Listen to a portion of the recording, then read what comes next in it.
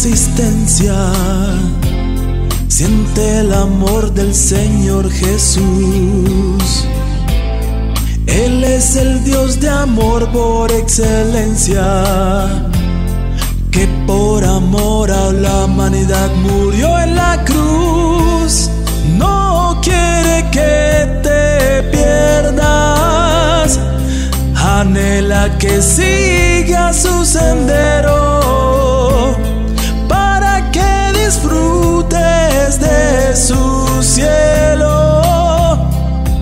es más brillante que las estrellas.